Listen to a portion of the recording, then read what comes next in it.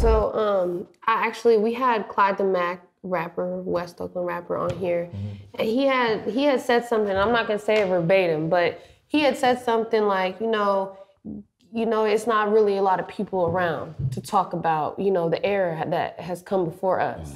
You know, to really give that game and that knowledge of all the people who are so important to our Bay Area culture. Right. So, like, you know, being that you are, you know, founding member of Mob Figaz, you know, super, super important group to our culture.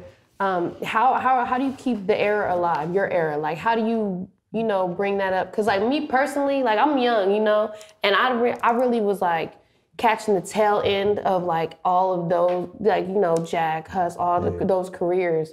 So I don't really know about a lot of the history that comes prior to that. So like just even getting to sit here and like learn all this stuff from you is like super popping. So like how do you just keep that era alive, you know, just in general, like for Well, I don't think that's part is up to one person. I think we mm-hmm. all got to put our hand into that. Especially if you're interested, it shouldn't be hard for you to find out.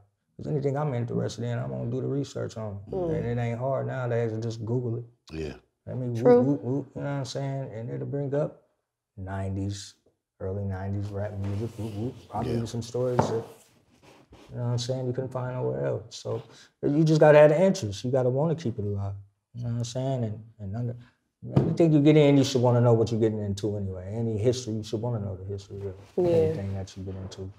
think I'm being checked right now, you know what I'm saying? Checked, But just speaking to anybody who would, you know what I'm Just- saying? No, just but in I general. mean that's, That's real, but- involved. Like, I mean, yeah, I mean, just being in this platform is tight because I get to come face to face with mm-hmm. all these people. You name drop all these things, so you know, it's like Yeah. a lot of stuff that ain't even around them. I don't even think they had a Gavin seminars and stuff no more.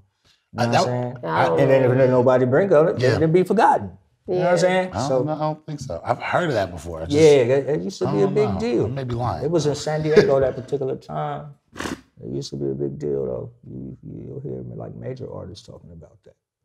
So yeah, it was big for us to be up, up at that. Um. So as you're talking, Key, uh, Key, as you were saying about just documenting the history or talking about the history, I may be jumping ahead of my time. I may be going too far, but I'm gonna throw it out there. Would you ever be interested in maybe even getting the homies out, getting the homies together, and getting the families together and doing a documentary of the Mob Figaz, or doing a documentary, or being a part of documentaries? Yeah, So yeah. we might have to make that happen. We gon' we was already putting our heads together on something like that. Yeah. You know what I'm saying? Telling our little story. think it'll be a good look. I Yeah. think they'll be interested in it. You it's exciting. Mm-hmm. It will be very exciting. but yeah, we um yeah that's that's that's in the works. We thinking about it. We, we for sure gonna have to have Bo involved. So you know we'll, we'll put it together. We'll do a Klyde story too. Hey, hey. So You know what I'm if we did a movie, who, who, who who's playing Klyde? I don't know, man. I want to play myself, but that wouldn't be right though, huh? You gotta play why wouldn't yourself now, but who you who's gonna play when you're young, when you're a teenager? Oh, well, you know, we'll have to do our research. I, have to pick, I have to pick through the litter. I have to be somebody, you know, that can do it well. Mm-hmm.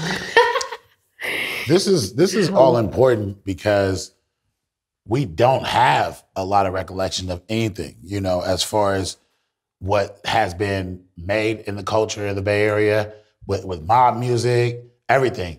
We wait for, we gotta wait for TV One to do like one or two unsung. So being here and hearing you talk about everything and and like for example, and we're gonna talk about Johnny Cash a little bit more because I feel like Johnny Cash has been somebody who a lot of people don't know enough about. Right. And also, he was that star that went out too early, you know? And so uh, I want to talk more about him. And I also want to talk about um, what uh, Money Gang Mob, how y'all came up with the name, how y'all came to be, and, you know, all that. Yeah, yeah, yeah. It's all good. Let's do it. So Money Gang Mob had a really big cult following in the Bay Area. Did you expect that? Not like it was, no. I don't, I don't think we expected it because we didn't even, we, we were just doing an album. Yeah. we didn't even I don't even think we thought we was gonna even go as far as we did. Like, You know what I'm saying? Once we did that album and we got the feedback from it, we was ready to start on the next one.